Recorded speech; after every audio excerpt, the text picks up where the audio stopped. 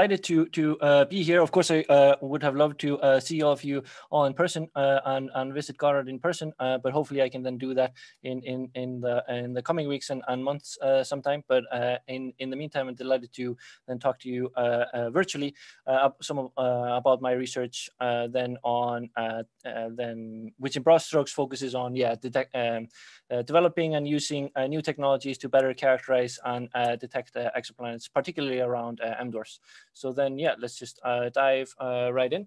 Um, so at the beginning of the um, uh, talk, um, uh, one thing that uh, I wanted to mention, if you have any, if you have any uh, questions during the talk, don't hesitate to just unmute yourself and and then ask. I think that's the the best way to do things over Zoom.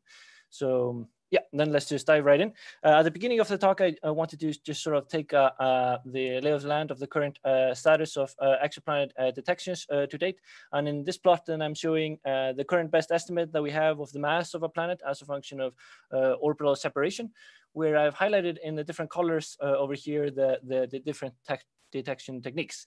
In um, what jumps out right away is the inherent different sensitivities that the uh, different detection techniques have. Direct imaging is more sensitive to planets that are further out, and the, the transit and the radial velocity method are more sensitive to planets that are closer in. Another thing that jumps out right away is, is this part of the plot over here where true Earth analogs live. Uh, and this is then where uh, then true Earth analogs lives, and this is uh, then particularly sparsely uh, populated uh, now. and that's the primary reason uh, for that being is that these are relatively hard signals to detect. But we live at in, at exciting times when we're starting to become better and better at detecting these exciting new worlds.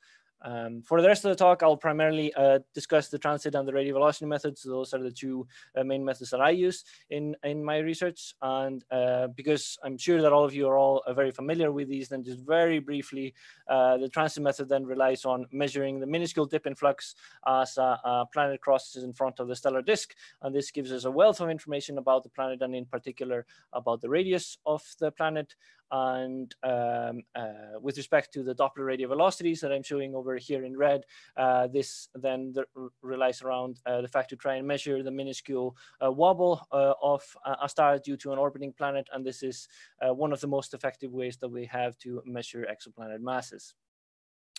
And to calibrate everyone on the precisions involved when trying to make these measurements, then the transit depth of Earth around the sun is on the order of 80 parts per million and the radial velocity amplitude of uh, the sun due to the Earth is on the order of 10 centimeters uh, per second.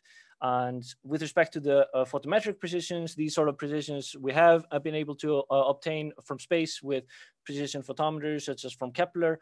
And it's only, only relatively recently that we were able to uh, obtain these sort of uh, uh, photometric precisions from the ground, like I'll talk about in, in the coming slides. And with respect to the radial velocities, then over the last decade or so, we've been sort of stuck at the so-called one meter per second radial velocity barrier. And but in just the last couple of years or so, uh, we've seen uh, some very exciting new instruments uh, coming online uh, that are uh, starting to show radial velocity precisions on the order of 40 or 50 centimeters per second. So we, uh, that is super exciting because we're sort of really then sort of paving the way towards this exciting RV precision goal of around 10 centimeters per second, which is then the precision we really need to be able to detect true Earth analogs. But in the meantime, as we uh, then try to understand uh, more about the properties of, of these terrestrial planets, we often then uh, turn our attention to uh, then studying planets around M dwarfs. Uh, but M dwarfs have a number of different uh, properties that make them favorable for, for studying planets and in particular then small planets. Number one, uh, M dwarfs uh, are numerous. Uh, M dwarf uh, stars are actually the most uh, types uh, or numerous types of star in the galaxy. Three out of every four stars in the Milky Way are then M dwarfs. And in this context, I, I really like showing this a quick video clip of um, of just a nominal uh, uh, then patch of uh, sky uh, showing here what it looks like in the visible. But because uh, M dwarfs are uh, relatively faint in the optical, we really can't see them so well unless we actually start to observe them at redder wavelengths at, in the red optical or in the near infrared. And then if we take a look at what um, this same field looks like in the near infrared, it is just sort of like uh, blows up with uh, with a number of of of of, of M dwarfs in in in the field. Um, so M dwarfs are pretty particularly great because there are just so many of them uh, that uh, are then ripe uh, for the picking to find uh, more than planets around them, and they have remained particularly poorly studied until relatively recently due to the fact that they are just so intrinsically faint in the optical where the the current highest most precision facility facilities have been operating and um, Another great reason why uh, dwarfs are uh, great targets to, to study uh, uh, then small planets, and especially with respect to habitability studies, is that we actually uh, can detect uh, planets in the habitable zones with current radial velocity precisions. And with this cartoon, then I'm showing, comparing the habitable zone, then sort of a cartoon picture of the planet in the habitable zone around the sun-like star on the left, and then around mid to late M dwarf on the right. And because M dwarfs are intrinsically faint, this uh, then um, causes the habitable zone to be closer in uh, to the host star. And because M dwarfs are relatively low mass, this also increases uh, the uh, radial velocity semi-amplitude of a planet orbiting in the habitable zone around the M dwarf, making it detectable uh, with current uh, technologies. then the RV uh, semi-amplitude of the uh, planet around the sun-like star is on the order of 10 centimeters per second, and but around the mid to late M dwarf, it's on on the order of a, an order of magnitude larger, or about a one meter per second, which is then uh, detectable with with current technologies. And um, then uh, the TESS mission of the Transiting Exoplanet Survey Satellite, which uh, I'm sure many of you are intimately uh, familiar with, is uh, currently detecting, um, uh, has already detected over 2,000 exoplanet candidates, most of which are actually then planet candidates orbiting around nearby bright M dwarfs. But TESS is then an all-sky uh, then survey to look for transiting planets around the nearest and brightest stars. And because M dwarfs are just so numerous and they're also our nearest neighbors, and because TESS has particularly good sensitivity to the uh, red optical, TESS is detecting, uh, has detected hundreds of, of uh, exciting planetary candidates around nearby uh, bright M dwarfs that are in great need of, of then high precision follow-up capabilities to accurately characterize these exciting systems, both with respect to their, their, their radii and then also to accurately characterize their, their masses. So there's a great need for, for precision, uh, both photometric capabilities from the ground and then also precision radial velocities. And if we uh, do uh, have, uh, if we have a precision uh, capabilities both to uh, constrain the radii uh, and the masses, then we can put them on an exoplanet mass radius diagram. I'm showing an example of that over here. The lines here and then lines of constant density. 100% water world would land somewhere around this line and a rocky terrestrial world would be land in and around somewhere around this line. And um, so there's a because TESS has been detecting so many uh, planets then there's a great need to uh, then more rapidly uh, uh then uh, follow them up with high precision capabilities. This will then allow us to uh, then constrain both the y-axis and the x-axis error bar on, on, this plot. And um, and many of these systems that TESS is uh, uh, then detecting are going to be uh, some of the best planets in the future to follow them up with transmission spectroscopy with James Webb in, in, in the future. And that sort of uh, concludes the uh, sort of motivation uh, part of my talk, where hopefully then I'm motivated that M dwarfs are particularly exciting system on planet planet hosts to to study and, and detect and characterize new planets. And this is then um, an overview of sort of the next uh, uh, then parts of uh, the talk. Um, in the next few slides, then I wanted to talk about sort of our two-pronged approach in, in both then technology development to both achieve precision photometry from the ground with these new technology called engineered diffusers, and then I'll also talk about uh, then our work on the HPF and NEID spectrographs, uh, which are the new next generation spectrographs uh, to um, detect and characterize new uh, terrestrial planets. And then I'm excited to talk to you a little bit about a couple of new uh, papers that we relatively, uh, recently have been working on. So are there any questions about anything at all so far? Um, if not, then um, I will probably just dive right into uh, the engineered diffusers. Okay, then, uh, so let's dive then into engineered diffusers. So first off, then what are engineered uh, diffusers? So I actually have one with me over here, and then maybe uh, can show you over here. Hopefully you can see, maybe it might be helpful to pin uh, the video, uh, but what I want to show you is a uh, uh then a quick sort of live demonstration of uh, what these diffusers are. A diffuser is essentially then a nanofabricated piece of optic, usually consisting of a, a um, glass substrate with a thin polymer layer on top and uh, then it has very uh, intricately engineered uh, then surface structures on the surface of it. I'm showing one of the uh, a, a, surface electron microscopy image of uh, diffuser surface uh, over here on uh, the uh, PowerPoint slide uh, that is on the order of 100 micron or, or so in, in, size and shape.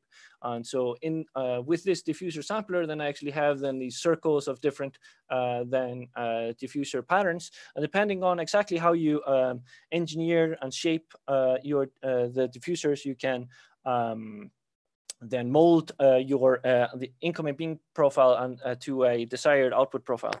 And hopefully, I want to try and see if I can do this over Zoom uh, to show you, uh, depending on exactly how you uh, design your diffuser pattern, you can create different PSF output patterns. So you turn off the light over here, and then you let's say that this is a telescope beam, and then depending on how you um, then shape uh, the diffuser pattern, you can then get a filled uh, circle, unfilled circle, uh, square, uh, here's another square, uh, a line, and I think there was a triangle, yeah, uh, triangle, and, and so on and so forth.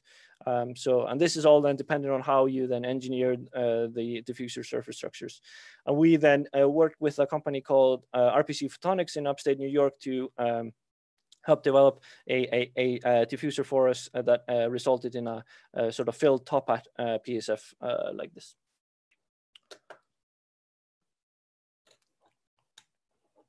So let's see. And uh, in doing so, then uh, this then allows us to spread the light out over many pixels on the CCD. And in doing so, this allows us to, to then average over then interpixel sensitivity effects, but the CCDs or the detectors that we're using, they aren't perfect. There are always like some uh, then variations in the sensitivity so, uh, in, in the pixels to the light that is falling in on them. And this also opens the door to uh, then um, in, uh, use uh, then uh, and observe bright stars uh, with big telescopes at very high observing efficiencies. Uh, uh, and those are exactly the, the TESS stars that we are that we are very interested in, in, in following them up. And on this slide, then, yeah, I just show uh, then how diffusers are made. It's essentially then a uh, then a glass substrate then, and with a thin uh, polymer layer on top. And then uh, you use then a UV laser that sits on a very precise XY stage. And then by modulating the intensity of the laser as you step through uh, the XY uh, coordinates, then you can essentially then write out your diffuser pattern, and then you can etch away the differently exposed then photoresist layer, and then you have your your micro lenslets uh, at the end. And um, th these diffuser patterns can also be directly etched onto uh, fused silica glass, and this actually is particularly useful if you want to uh, then um, observe in the near infrared, because then you can actually cool uh, down the diffuser to cryogenic temperatures. And we then worked with uh, RPC Photonics uh, to um, then uh, build a diffuser uh, for the three and a half meter telescope at Apache Point. And I'm showing then the diffuser here on the left. It's about 150 millimeters in diameter or so, and uh, which we installed then on the three and a half meter telescope at uh, Apache Point, and which I'm showing here on the right. And we this is then a video comparing uh, a defocused uh, PSF as a function of time. Uh, then you can see the uh, diffused uh, or defocused, uh, sorry, PSF then moves around. You can see different spikes moving in in and around in, in the PSF. This is detrimental for precision photometry because ideally you want to always illuminate the same pixels in the same way. and then here on the right, I'm comparing the diffused PSF, which um, then returns a, a top hat uh, a diffuser PSF uh, that remains stable uh, throughout the night.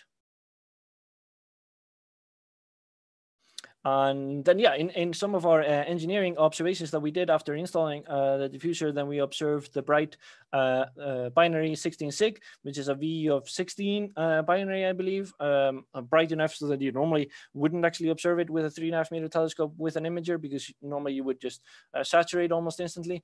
but with a diffuser, because we can then spread out the light over many pixels, we can um, then really start to make use of all those photons. And uh, this is then what the uh, photometry looks like as we bin in down. And then in 30 minute uh, bins, we're able to obtain about uh, 62 parts per million uh, precision. And this is then formally below uh, than the 80 parts per million transit depth of Earth around, around the sun. And um, we also chose this target because the Kepler spacecraft observed uh, this uh, same target. And then in a head-to-head -head comparison, then we're within a factor of two or so uh, from Kepler on, on the same, uh, same target. So, and because diffusers are relatively inexpensive uh, devices, uh, then a two by two inch diffuser similar to, to this one is only uh, in and around $500 or, or so. And uh, then we've been working with a number of different groups uh, to install and uh, commission diffusers on different telescopes, like I'm showing on, on this slide, um, um, telescopes then large and small. And we've then been using in particular uh, the diffuser on the three and a half meter telescope at, uh, at Apache Point uh, to follow up with a number of different K2 and TESS targets to um, then help confirm and, and characterize these exciting planets in, in, in, in at high precision and diffusers are then also being considered uh, uh, at some other uh, different uh, telescopes uh, as well. So yeah, if you're if you're ever if you're interested in in, in uh, using a diffuser on on your telescope, then definitely let me know. I'm always happy to to help help with that. Um, so. And then, yeah, that sort of uh, concludes what I wanted to say about uh, the um, engineered diffusers. Uh, are there any questions before we dive into the precision RVs?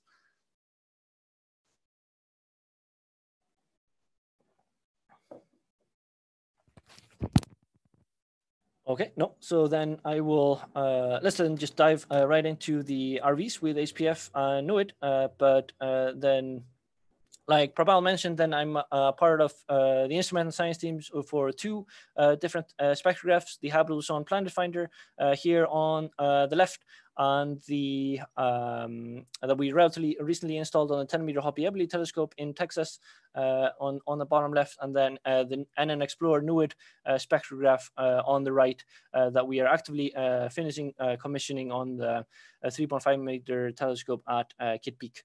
And the main science goal of HPF is to carry out, a, a, survey of uh, nearby bright uh, then uh, M dwarfs, bright then in, in the near infrared to look for then uh, exoplanets in the uh, habitable zones around these uh, mid to late uh, M dwarfs um, within 25 parsecs or so. And the main science goal of NEID is to focus more on detecting and characterizing then these terrestrial planets in and around solar type stars. And the main sort of design of both of the instruments then flows down uh, from these uh, then um, science um, science directions. We've then designed HPF uh, as a near infrared uh, spectrograph, uh, um, uh, then really making use of all of the near infrared photons then coming from M dwarfs, then uh, HPF covers then the information rich Z, Y, and J bands from around 810 to 1280 nanometers at a resolution of about 55,000. We then use a Hawaii 2 near infrared uh, detector array, cool everything down with a liquid nitrogen tank down to around 180 Kelvin to minimize thermal background radiation. We do that with uh, this liquid nitrogen tank uh, down over here and uh, then we have copper straps um, then uh, attached to uh, the thermal shield over here and then we have a number of different then thermal control stations all over the thermal shield that are responsible for maintaining the temperature at 180 Kelvin or so at a millikelvin precision long term. And uh, with respect to uh, the uh, NEID, uh, spectrograph NEID uh, actually operates in uh, the optical, then from around 380 to 930 nanometers and, um, and um, at a resolution of about 100,000 or, or so. and because we're using then a CCD chip, a 9x9K CCD chip, then we don't actually have to cool down the instrument um, to, to, do, to do that. And uh, we actually operated at a slightly elevated room temperature of around uh, 300 Kelvin or, or so. And um, and the precision level of uh, HPF is uh, about one um, meter per second that we're uh, hoping to get. And uh, with NEID uh, that we're actively finishing commissioning, then we are then hoping to get around 30 centimeter per second radial velocity precision. So. Um, because yeah, we have already uh, then uh, installed HPF and we have been observing uh, now for a couple of years or so. And uh, we're currently then carrying out a five-year uh, blind uh, survey of Uh, using HPF of then mid to late M dwarfs to look for uh, uh, planets in, in the habitable zones around these mid to late M dwarfs. And here I'm showing then a, an RV stream of uh, of uh, then the nearby bright uh, M-dwarf star Barnard star, where we're seeing then a precision of around 1.5 meter per second scatter. in principle, our RV error bar on the different points is on the order of 0.9 meters per second. In this data stream, we have actually been continuing to observe it uh, since we published uh, this uh, stream in our paper from 2019. Our current scatter is in and around two meters per second or so, but our uh, information content suggests that we should have a precision of around 0.8 meters per second uh, or so. So we're actively taking a look at uh, if the additional scatter that we're seeing is then due to instrumental effects, uh, due to stellar activity, or or potentially the the uh, the, uh, the the planet that has been reported around this um, um, this star but we're super excited about this. Uh, then these precision levels, and then uh, these are some of the highest uh, precision radial velocities that have been obtained in the near infrared.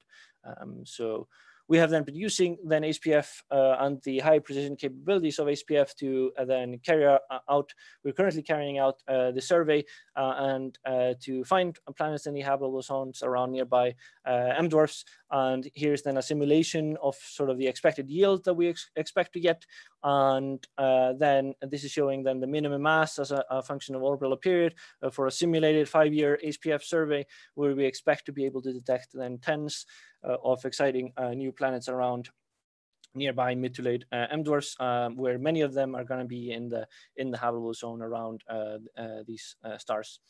so this then will allow us to start to answer some very exciting questions about what is sort of the intrinsic frequency of planets around mid to late M dwarfs, which have remained particularly poorly studied because there haven't been very high precision radial velocity capabilities in in the the near infrared for for uh, um, because most of uh, most instruments have been op uh, operating in the optical. So yeah, so uh, that was sort of the main things that I wanted to uh, say about the the near infrared RVs with HPF and and and with NEID. Are there any questions on the RVs so far?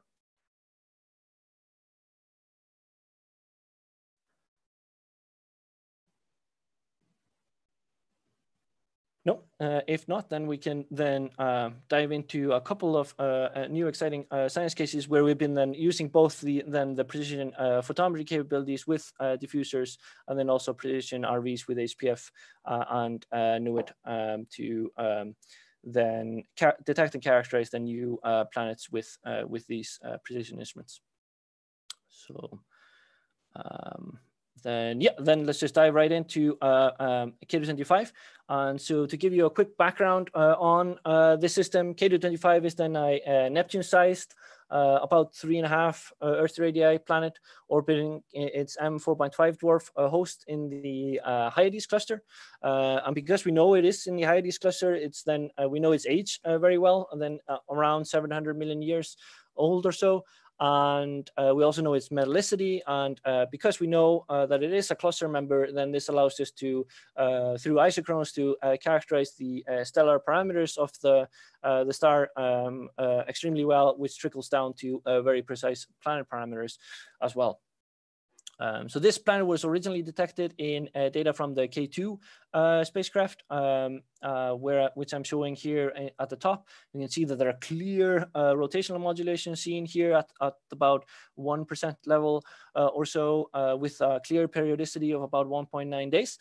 And uh, after we uh, then remove the uh, rotation period variability, then we clearly pick out the 1% deep transits or so, which then um, showing then, yeah, very deep transits of the three and a half Earth radius planet. And um, then to further characterize the, uh, the, the, the, planet better, then we were able to obtain a number of different uh, ground-based uh, diffuser-assisted transits of K2-25. Uh, here I'm showing at the bottom five uh, different transits that we observed with uh, the diffuser on the three and a half meter telescope at Apache Point, and then with the Arctic Imager. and then here in the sort of um, middle row over here, then we were able to obtain four different um, ground-based diffuser-assisted transits with the half degree imager on on the 0.9 meter telescope at uh, Kitt Peak. And so with these uh, additional transits, we were really able to better uh, uh, resolve the, uh, the shape of the transits and uh, better uh, characterize the orbital parameters of, of, of this exciting planet. And in particular, we were very interested uh, in the original discovery paper. Uh, there were some hints at that there, there might be uh, that the planet might actually be eccentric uh, due to the the short, uh, relatively short orbital period of of the planet um, uh, no, not orbital period, relatively uh, short uh, transit duration of, of uh, the transit. Uh, and um, so we are very interested to uh, then get also precision radial velocities with HPF out of transit, both to then constrain the mass of the planet, but then also to see if we could constrain the eccentricity better. And with the, by jointly modeling then the um, the transit data that we had and then also the precision uh, RVs, then we were able to uh, then um, both constrain then the mass of the planet um, and then also the eccentricity.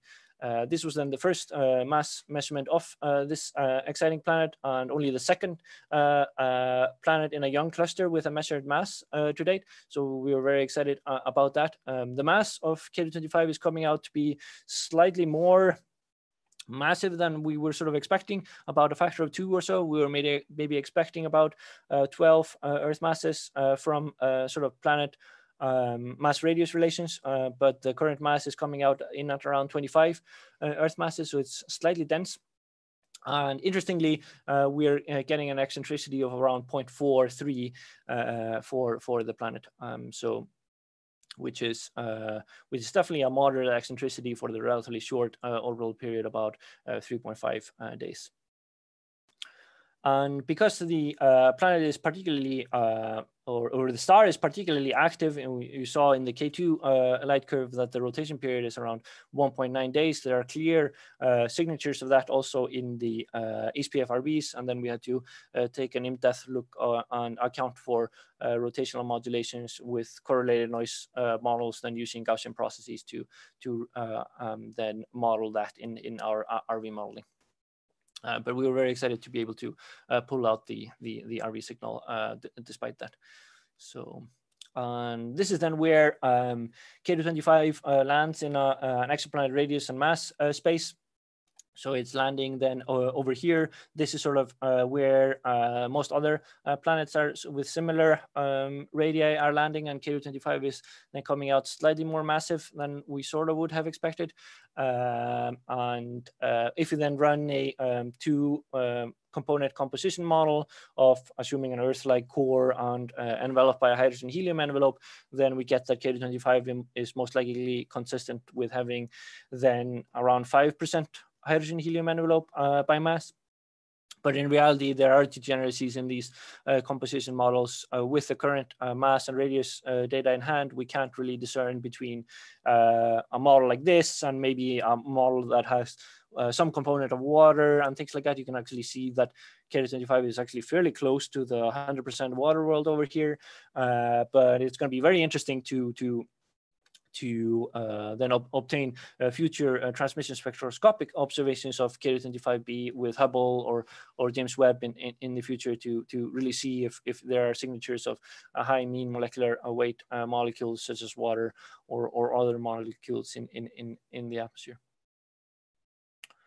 Um, and then, yeah, uh, one of the questions that uh, then we wanted to try and answer is uh, is about the relatively moderate eccentricity that we see of k 25 of then around 0.4 um, then of around 0.4. And then we looked for um, evidence if there was a potentially other uh, planet in the system uh, from the uh, out of transit HPF radial velocities. Uh, in short, we don't really find any clear evidence for another planet in the system, but with the current data in hand, we were then able to place a, a, three sigma upper mass limit on uh, the mass of another potential planet in the system. That's then the red line uh, over here as a function of orbital period, but it's uh, it still remains a possibility that there could be another uh, planet at, at, uh, uh, with smaller masses uh, than lurking in the data. So it's going to be very interesting uh, then as additional data is, is, is um, uh, um, observed of, of this system to see if one could pull out then another, see if there's evidence of another planet in the system. So, but because there uh, are uh, uh, this evidence of uh, fairly interesting dynamical history uh, uh, in the system, particularly because we do see that it has a fairly moderate eccentricity, we were also very interested in taking a look at the and measuring the obliquity of the system. but turns out that K2-25 is one of the best M dwarf stars for Rossiter McLaughlin observations to constrain the obliquity of the the planet. And in this cartoon, then I'm showing what um, uh, the Rossiter McLaughlin uh, effect observations uh, then try to measure. Uh, but then um, as a star rotates around its uh, rotation axis, it actually causes one hemisphere of the star to be blue shifted and the other hemisphere to be uh, red shifted from the observer. And as a planet transits across the rotating stellar disk, it successively blocks out differently blue and red shifted parts of the, the stellar disk and uh, this then causes an anomaly in the RVs that we measure uh, during the, the transit. And the shape and amplitude of, of, of this uh, RV curve are directly uh, related to the obliquity angle uh, over here and highly sensitive to it. Uh, the obliquity angle lambda over here, which is the angle between the stellar equator and the planet orbit. And then this has been uh, this angle has been uh, uh, the obliquity angle has been shown to be a very great probe for uh, then uh, dynamical formation histories uh, because if we do see that a planet is observed to have a misaligned orbit the the natural question arises how how did it obtain this this misaligned orbit? Did it form in a in a misaligned primordially misaligned disk or or was it kicked into this misaligned orbit or, or or what happened and with HPF, then we were able to obtain uh, then three uh, different uh, transits of K2-25 uh, in, in, in transits with uh, high resolution spectroscopy with HPF. And here I've actually uh, combined all of them into this movie over here. And then we see that the RV data with HPF then goes up first and then down and uh, then it uh, goes to the baseline. And this, this is then a telltale signal of a well-aligned uh, system. Our uh, current uh, posteriors on, on lambda suggest then a lambda of around three plus minus, uh, 16 degrees or so after then combining all of the transits together. And this then um, suggests that K2-25 is consistent with being well aligned and confidently rules out any high degree of, of misalignments. So And then, yeah, if we uh, compare where uh, K2-25 lands on other, um, if we take a look at where uh, other sky projected obliquity measurements that have been uh, done to date uh, are, then uh, this then shows the lambda angle as a function of effective temperature for different obliquity measurements with the Rossiter-McLaughlin effect. And then uh, in blue here, I'm uh, comparing uh, or showing uh, measurements for uh, Jupiter-sized uh, planets, and then in black, I'm showing points for then Neptune and Uh, terrestrial-sized planets. And interestingly, I want to highlight uh, this part of the plot, the red sort of shaded region, which is where the M dwarfs are. Currently, only four M dwarf planetary systems have their obliquity measured uh, to date. this is then again primarily due to the fact that M dwarfs are relatively faint in the optical, where the highest precision radial velocity spectrum that have been operating. Uh, but we're very excited to to uh, continue uh, doing other uh, additional Rossiter McLaughlin observations of uh, other M dwarf planets uh, to to better probe and understand the obliquity distribution of of M dwarf planets. Uh, it's also very interesting to compare uh, how K2-25, um, the obliquity uh, angles between K2-25 and GJ 436. Uh, in many ways, both of these planets are very similar. Uh, they have similar uh, orbital periods and masses and radii, and both of them are actually observed to be then have eccentric orbits and but interestingly they show different uh, obliquity angles. Uh, so um, this then likely uh, points to then different formation scenarios uh, or formation histories Uh, like we discussed in our paper uh, potentially uh, K2-25 uh, could potentially have formed via a planet planet scattering event er earlier in its in its formation history potentially actually even resulting in, in, a planet merging event. This would actually help explain why K2-25 is relatively dense. If it's actually a, a, a um, a merger of uh, two um, then sort of mini Neptune planets, and then we might then actually be catching it in the act of um, high eccentricity migration, uh, having been kicked into a high eccentricity orbit, uh, which uh, is then is in the progress of of circularizing uh, its orbit, and that's why we're we're uh, seeing. that it has a very sh short orbital period of around three and a half And planet, planet scattering also generally does not tend to misalign, severely misalign orbits. Uh, and this could then also help uh, then uh, explain the relatively low uh, sky projected obliquity that we see. Um, for example, favoring that over a Kozai Lidov uh, or Lidov Kozai uh, um, then mechanism that usually leaves planetary orbits stranded on, on misaligned or, or polar orbits. So. Yeah, any questions about uh, K2-25?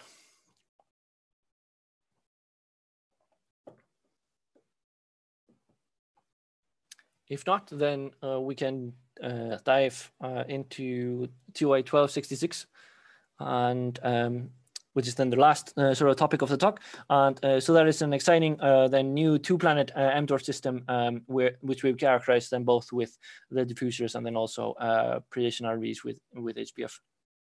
And this then was observed uh, with TESS uh, in actually four sectors that I'm showing uh, over here, uh, sectors 14, 15, 21, and 22, uh, where I'm highlighting the two different uh, transits here in the red triangle and the blue triangle over here. Um, TOI 1266 is then a nearby uh, bright uh, M2 uh, star um, with a distance of about 36 parsecs or so. And in the middle plots over here, I'm showing the phase folded um, TESS light curves with a, the inner planet has a period of around 11 days and has a radius of around two and a half Earth radii. And the outer planet has a period of around 19 days and a, a radius of around 1.7 Earth radii. And in the bottom panel, I'm showing then uh, the ground-based transits that we were able to obtain of, of both uh, uh, planets, then really confirming that uh, this star is the true uh, source uh, of, of the, the, the transiting events. And we were very excited to be able to uh, recover a ground-based uh, transit of uh, planet C, uh, especially because the, the, the, transit depth is fairly shallow, around one, one and a half millimag or so. And also there are just not so many uh, opportunities in a given uh, semester to catch it due to the relatively long orbital, orbital period. Uh, one of the very interesting things about this system is that the outer planet, uh, um, uh, planet C, uh, uh, resides in the so-called exoplanet radius valley uh, because it has a 1.7 um, Earth radius radius. And so what is the exoplanet radius valley? so um, in a very seminal paper in 2017, Benjamin Fulton and et al. then published a very seminal paper sort of showing um, uh, a very statistically significant uh, dip or valley in the radius distribution of uh, planets from the California Kepler uh, survey uh, sample, uh, which I'm showing over here from their paper, showing then two peaks with a with a clear valley in, in, the radius distribution of of, of small planets. this has then been interpreted as sort of the dividing line between rocky super Earths down over here and then gaseous mini Neptunes over here. And interestingly, TOI 1266 uh, has a radius right here in, in, in the middle. Uh, so then the natural question is, uh, does 1266C uh, have a uh, radius that is, uh, or ha have a composition that is more consistent with a rocky super Earth, or is it more consistent with being a mini Neptune? And this is then another uh, plot to sort of visualize uh, where uh, where the expected uh, radius uh, value is supposed to be in the sort of planet radius, planet orbital period plane. But there are sort of three main theoretical frameworks that sort of seek to uh, explain the emergence of the radius valley, which I'm uh, showing over here. Um, in the color points, I'm showing then uh, M-dwarf planets uh, with uh, cons highly constrained then masses uh, and radii. And in black, I'm showing TOI 1266b and 1266c and um, I'll walk you then quickly through the the different uh, then um, then theoretical frameworks, but they all sort of uh, they, they, differ in sort of how uh, they predict that the exoplanet uh, transition radius, which is then this um, then the dividing line between the rocky and non-rocky planets, uh, should uh, then change as a function of orbital period. Um, and then in the dashed line, then I'm showing then the photo evaporation scenario. This this idea then revolves around the fact that, uh, or around the idea that um, exoplanet atmospheres are then stripped away uh, due to high energy uh, irradiation uh, coming from uh, the host star. This then predicts that the um, uh, non-rocky to rocky transition radius should decrease with orbital period. This then makes sense because if a planet um, then orbits closer to its host star, and then it's easier uh, to strip away uh, its atmosphere because it uh, is then receiving a higher uh, amounts of irradiation from its host star. And uh, the core powered mass loss uh, scenario, then that's essentially then explaining then atmospheric loss due to the residual heat from a con contracting planet that is capable of then shedding away the outer layers of, of the atmosphere of the planet. And that also predicts that the um, uh, rocky to non-rocky transition radius decrease with orbital period. And then lastly, the gas poor formation scenario uh, here is shown in the uh, thick um, uh, black line.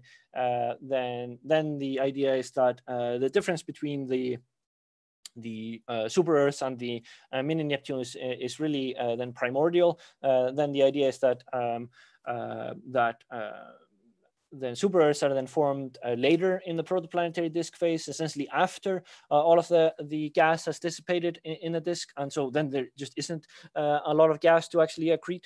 Uh, so you end up with a rocky uh, planet, but then the mini Neptunes uh, then form earlier in, in the protoplanetary disk phase before the, the gas is dissipated, then resulting in, in, in, in, a, um, in a mini Neptune gaseous planet because there is still gas around.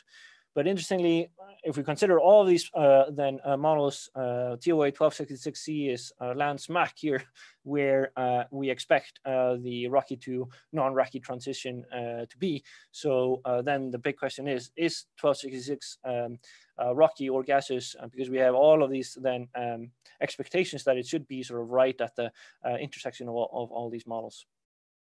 So we were then able to obtain uh, uh, RVs with HPF to uh, constrain uh, the masses of, of both planets. Currently, uh, the uh, number of RVs and the precision that we have on, on this planet is sufficient to validate both planets, which we published in our paper, which is currently in press. Um, we have a formally uh, around two sigma mass constraint on the inner planet, uh, but only really an upper uh, mass limit on, on the outer planet. Uh, but we're very interested in continuing to follow uh, this system up, uh, both with HPF and the NEID in the future to constrain the mass of, of, of, both planets, and in particular planet C, to really constrain what is the, the composition of this exciting planet.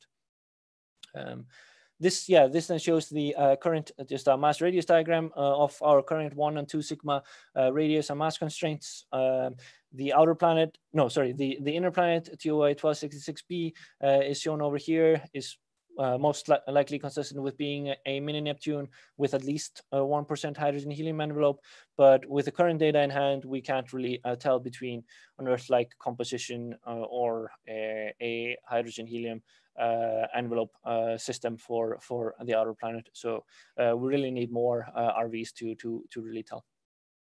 And and then lastly, uh, then one of the also interesting things about uh, this system is that um, um, uh, TOI 1266 is one of the very few uh, multi-planet M-dwarf systems where the inner planet is substantially larger uh, than the outer planet, which raises a number of different questions of how such systems form.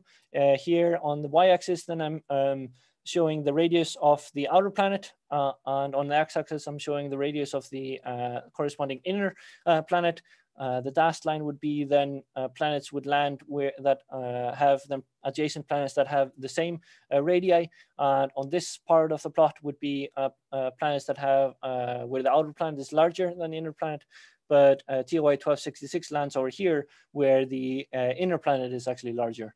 And so this then raises questions about, uh, especially like with respect to photo evaporation, then we usually expect the outer planet to be slightly uh, then larger because they, they receive less irradiation from the from the host star. And you can also see that generally uh, the, the uh, many planets are actually hugging uh, the, the, the dashed line over here, but many, uh, most of the planetary systems are sort of um, a bit um, on, on, the left side of, of this line, whereas TOI 1266c is, is uh, over here.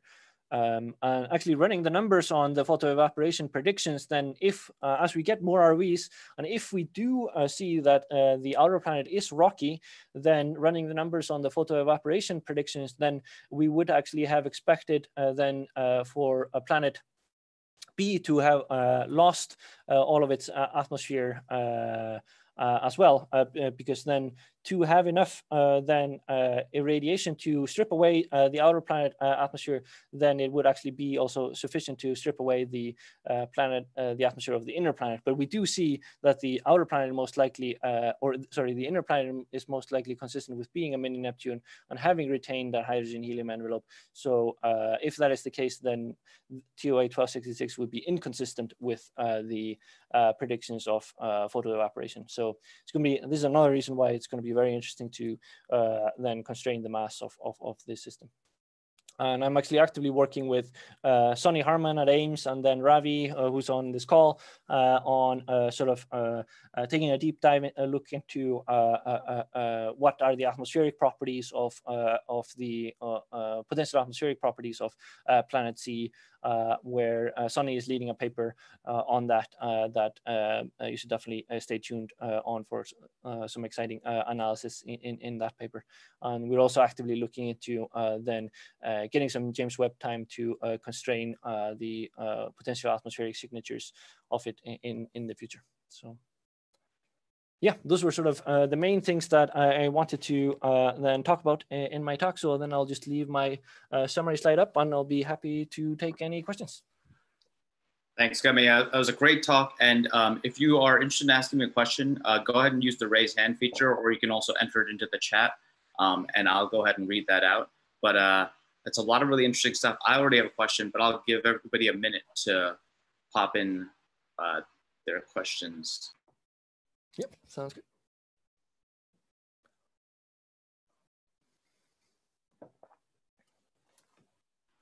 All right, so I'll just go ahead and ask mine first then, because I'm, I'm not a patient guy.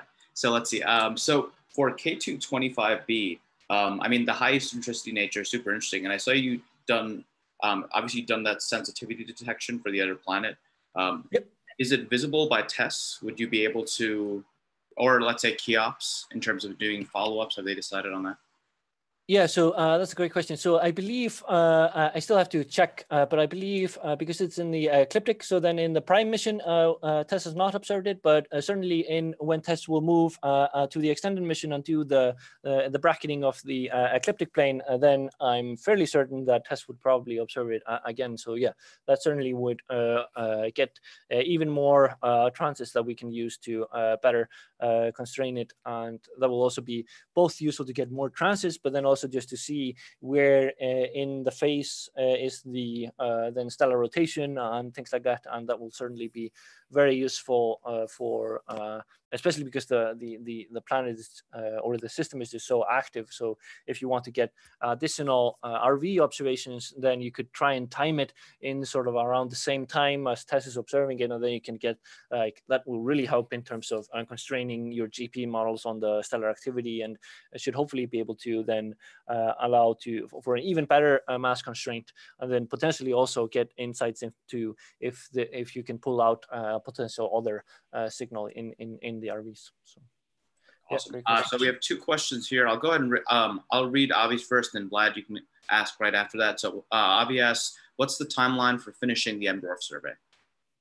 Oh, so uh, yeah, we started uh, then the uh, HPF GTO survey in 2018. And so normally it is five years. So we are now two years uh, in Uh, into the survey. And uh, we uh, are already starting to uh, find some exciting signals. And we have a paper in prep on a very exciting planet that I regretfully I didn't get a chance to talk about today. but you should stay tuned for an exciting then planet from the HPF uh, survey coming out uh, soon. We're just about to to to submit that paper. So. Cool. Uh, Vlad, do you want to unmute yourself and uh, ask um, any questions? Yeah. Hello. Yeah. Thanks for a very interesting talk. So yeah, I have a um, a couple of questions. The first one is that you mentioned this young system, a K220, really exciting, um, that um, uh, shows um, interesting planet. Um, uh, and also you mentioned TOI 1266. Uh, I just was wondering whether this also a young system. Uh, the point is that, yeah, so uh, let's uh, first, can you please answer this one then? Yeah, yeah. So uh, TOI 1266 is uh, then we most likely think it's uh, we don't have very good constraints on the the age, but it's most likely between sort of at least older than two uh, gigayears. So it's certainly it's certainly older than K2-25, uh, but probably maybe between two and uh, seven or eight uh, gigayears or so. So yeah. Uh, yeah, the second is just a comment. Uh, so you mentioned um, those um, expectations from the evaporation model, from mm-hmm. the photo evaporation model. Just want to mention that um, you know when the planet is pretty close, uh, to the star, then and the and the planet has a magnetic field, then the um, you know interaction of the stellar wind with the magnetic field can induce geomagnetic currents, then then dissipate in the atmosphere and can cause the so-called Joule heating that can exceed the photo evaporation uh, um, uh, uh rate. Oh, so oh, yeah, yeah, yeah. yeah, that suggests that you know if a planet has a magnetic field, if uh, a magnetosphere is present, then uh, that can create additional um, losses, atmospheric escapes. Yeah, yeah, that's uh, that is very uh, cool, uh, uh, uh cool point, and that certainly uh, there are certainly a number of papers that expect, and there's a lot of excitement in sort of the radio community to try and detect then sort of radio signatures from like star-planet interactions, and and yeah, we, oh, that, that was a great point on sort of the the connection there to then additional evaporation for for atmospheres and, and things like that. So I'll certainly consider that as well. So. See any other uh, questions? I have one more, but I'll, I'll wait another minute. Just to, I'll go ahead and uh, so um, so for TOI uh, 1266 because of that unusual kind of flip in terms of the relative sizes. Mm -hmm. do you have a do you have a constraint on additional companions, maybe outward companions? If you're thinking about well, how the you know where some of that mass might have gone, if you expect the outer planet to be larger. Yeah, yeah, that's a, that's a great point. So uh, in our uh, paper, we did try and see if there was any evidence for uh, uh additional planets in that system as well, uh, because uh, we know that uh, just from uh, the Kepler statistics and things like that, the M dwarfs generally uh, tend to host quite a few planets. So chances are that there are potentially other planets in the system. maybe the other ones just might not be transiting.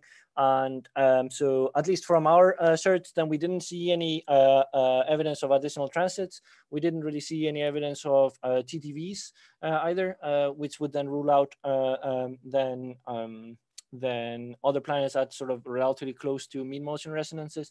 And in the uh, HPF RVs, then we didn't uh, at least uh, see any clear evidence for a massive uh, planet, but uh, certainly we will be actively looking as we get more uh, RVs of it in the future to see if we see any other signatures of, of additional planets, which will be very uh, interesting. And so we're very interested to then following it up with then uh, with both HPF and then uh, NEID and potentially MAROON-X uh, also also in the future, which is another uh, then sort of red optical spectrograph. So. All right. Um, I think Avi has a question. Go ahead, Avi. Um, yeah, I, so you're speaking somewhat to a NASA audience here. Mm -hmm. And so um, I was wondering about the technology for the diffusers. Um, has that flown in space before?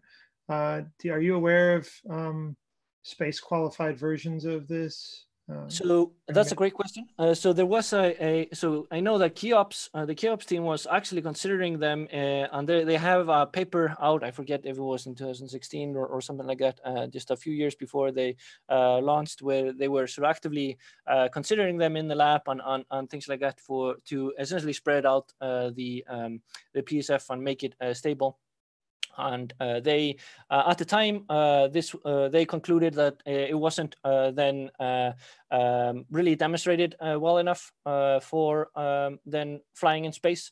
So they were sort of um, being reserved I guess on the sort of technology readiness of of the then engineered diffuser devices. And so they ultimately decided on then going with sort of the the defocused PSF that they have. And but uh, I mean, with the diffusers on the ground, they at least have been performing extremely well uh, for us, and um, they've been uh, then allowing us to obtain very high uh, precision capabilities. And um, certainly in space, things are always going to be uh, a lot better with respect to photometric precisions because you never have to deal with all the seeing effects and and uh, then scintillation effects and things like that. But they they should be able to then deliver a very stabilized PSF. So. Uh, I can imagine then going, for example, with a fused silica diffuser that's like directly etched onto uh, fused silica glass uh, would be, uh, it, it, you could just look at it as a, as a one of the pieces of optics in, in, you, in the spaceflight uh, camera, and it should be very stable up there. And um, certainly we would want to do then um, then very rigorous tests and, and, and, things like that. But I think that would be a very very cool idea. And I've had some. We've been floating around some ideas if uh, if we could help um, uh, to put a uh, then a, a CubeSat with a diffuser because then it would help because they often have like these relatively high pointing jitters and, and things like that. So then you can just spread out the light over many pixels and average over the pointing jitter. And so that might be one sort of of the one idea for a test um, test case that is relatively uh, so a lot cheaper uh, to to test and try in, in space. And that certainly would be super cool to try. Great, thanks. Yeah, I mean, just following up on obvious thing, that's it. You know, it'd be nice because you're going to get that brightness limit for some of these really interesting targets too, like you know the 55 yep. Cancris of the world, where they're just you know saturating things. So um, yep. that would be yeah, put in that APRA, man. yep, yep, yep, yep, yep. Awesome. So any other questions for Gummi? Otherwise, let's thank him again. And if you have any additional questions that you want to ask offsite, um, feel free to uh, send him an email. I can pass that on. I think it should be on the invite as well. Um, and hopefully we can get him here on campus when we eventually are able to do that. So. Yeah, thank, thank you all uh, so much for inviting me. It was uh, uh, super exciting. So, so. Thanks, everyone. Thank you. Thanks. Great talk. Thank you.